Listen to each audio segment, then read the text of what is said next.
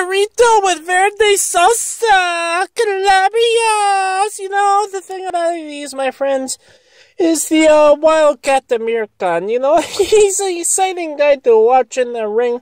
And, uh, you know, he has improved, and, uh, you know, partially thanks to Virgil Hunter in the ring. But uh, outside the ring, you know, he's uh, not making the base decisions. You know, if you remember back you know, Mayweather ran a poll of who he should fight, and uh, he chose Maidana over Amir Khan, even though Amir Khan won the poll from fans.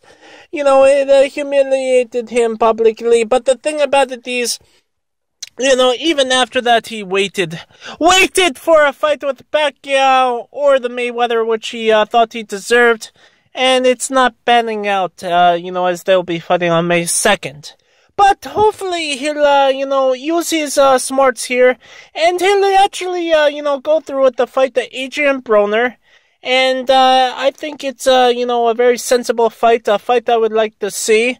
And, uh, you know, I wish Amir Khan all the best and just hope, hope this guy makes the right decision. And, uh, you know, gets back in the ring here.